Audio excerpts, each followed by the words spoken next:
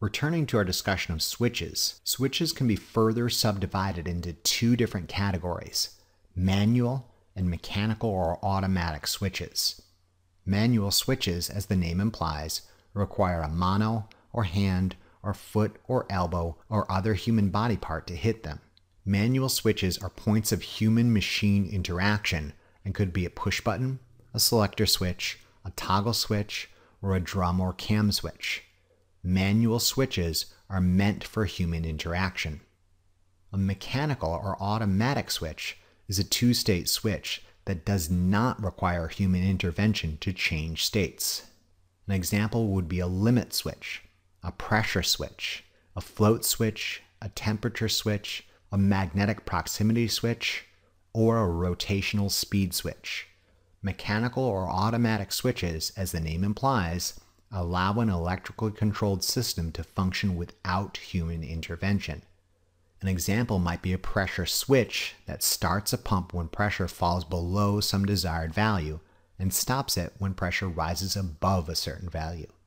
The differential between the cut in and drop out pressure is known as span or hysteresis or override and is necessary for the proper operation of such a system. The differential prevents the pump from bouncing back and forth between on and off when operating in a region close to the set point. We'll take a closer look at different types of manual and mechanical or automatic switches and some sensors in later lectures. Devices or programmed instructions internal to an electrically controlled system are those components that do the actual comparison of inputs and issue outputs. This is where electrically controlled systems employing traditional hardwired relay based ladder logic and those employing PLCs radically divide. Both types of systems require input in the form of switches or sensors, and both types of systems issue outputs to contactors or solenoid operated valves or indicators like pilot lamps.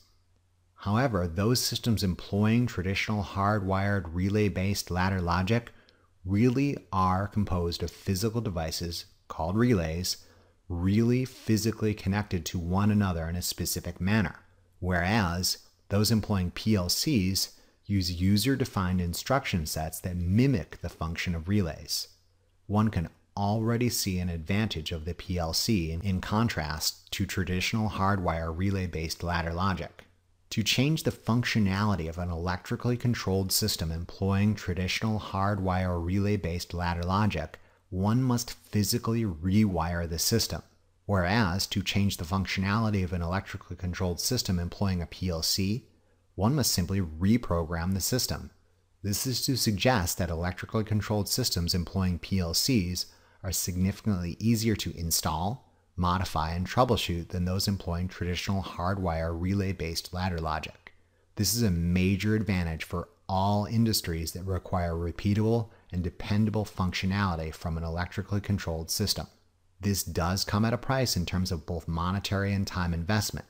PLCs have been traditionally considered more expensive and come with a significant learning curve in comparison to traditional hardwire relay based ladder logic.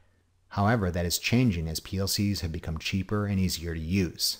Regardless, the instructions written inside a PLC program are programmed in the exact same manner as one would employ a relay inside an electrically controlled system employing traditional hardwire relay based ladder logic. The fundamental difference between these two types of systems can kind of be summated as this. The control relays inside an electrically controlled system employing traditional hardwire relay based ladder logic are real. The instruction set inside an electrically controlled system employing a PLC mimics the function of control relays. A control relay is a device internal to the logic of an electrically controlled system and only switches control level signals. A switch associated with a control relay could turn on or off a coil or a solenoid, which in turn would drive a primary load.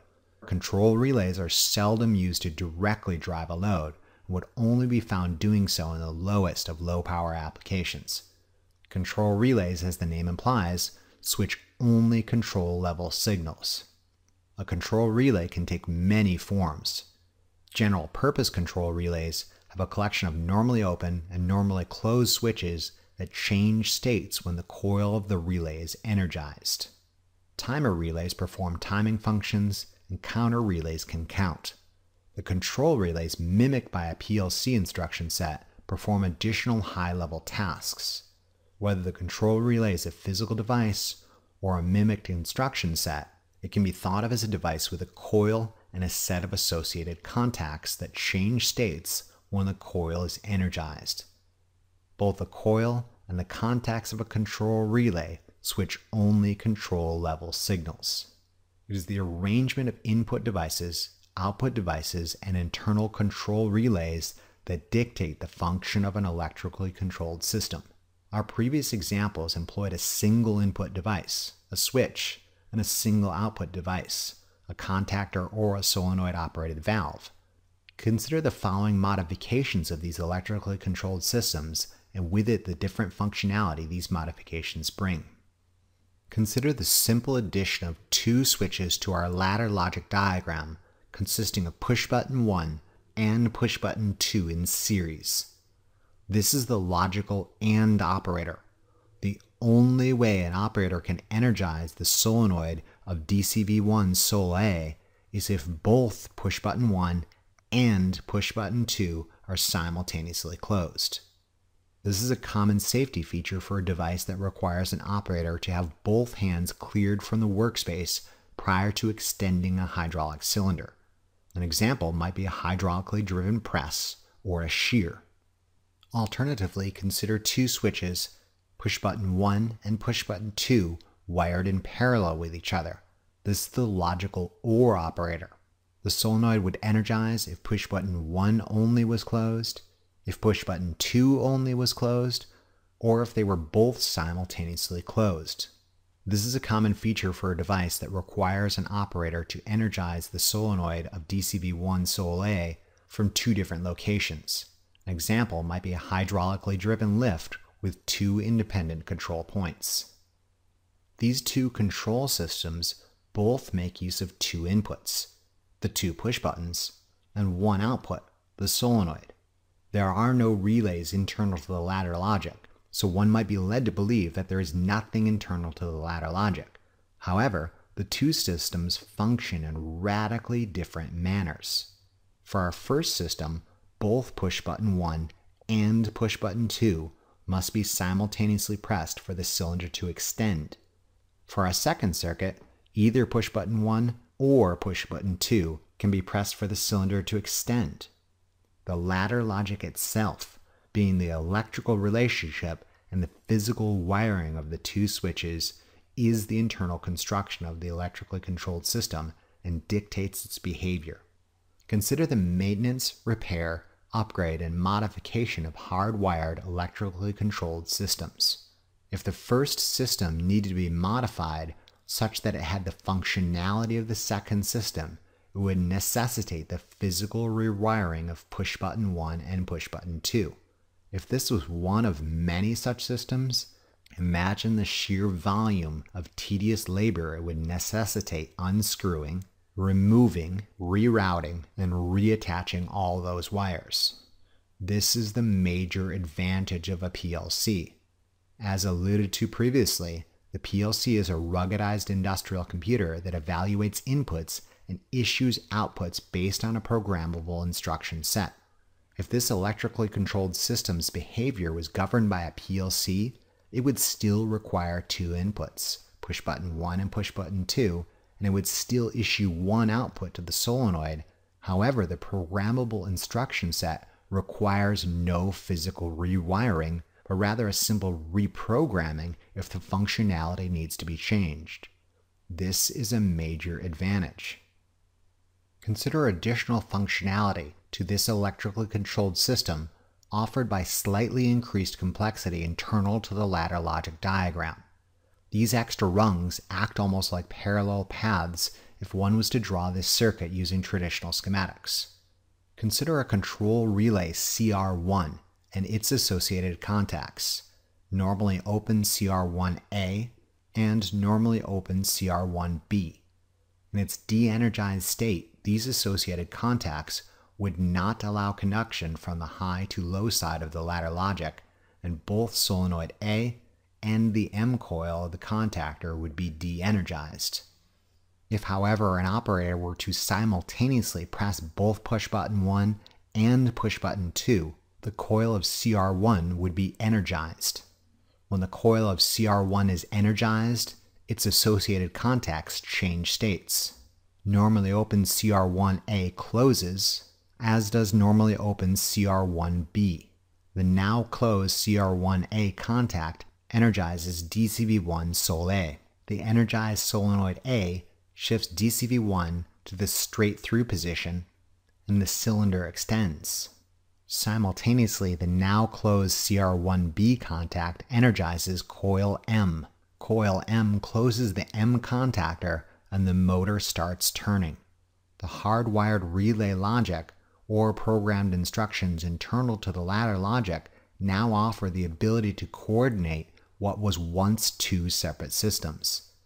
This could be used to create a hydraulically extended, electrically rotated drill. We'll learn in later lectures how relays and programmed instructions internal to ladder logic offer the ability to latch, unlatch, i.e., remember and clear previous states, sequence, interlock, count, compare, coordinate, communicate in time operations. Again, inputs in series internal to the ladder logic perform the logical AND function. The only way the electrical load on the right of the rung can be energized is if all contacts in series are closed. The electrical load would be de-energized if any contact in series is open. Inputs in parallel internal to the ladder logic perform the logical OR function. The electrical load on the right of the rung can be energized if any contact in parallel is closed.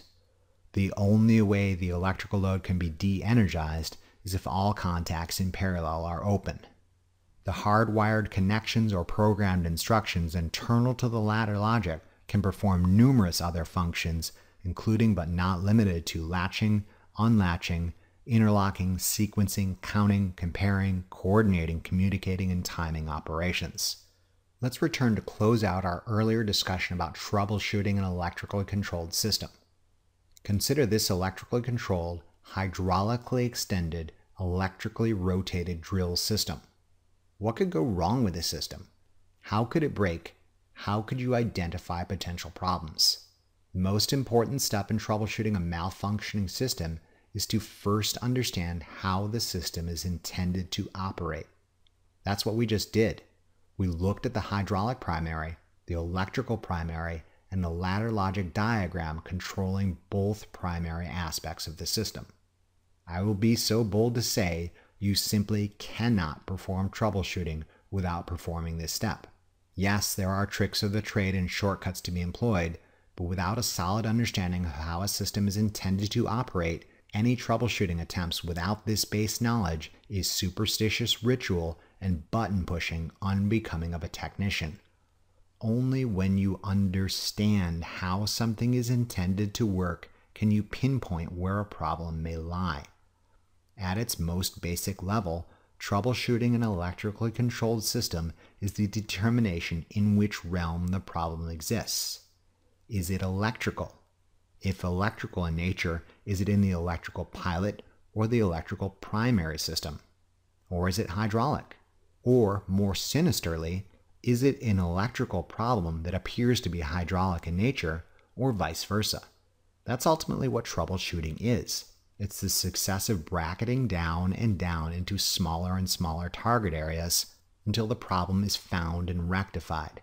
Good troubleshooters do this in an efficient and systematic method, and most importantly, get it right the first time. Keep in mind there is no limit to the wrong that can happen in the real world, but let's imagine some scenarios and see if you can assign them to one realm or the other.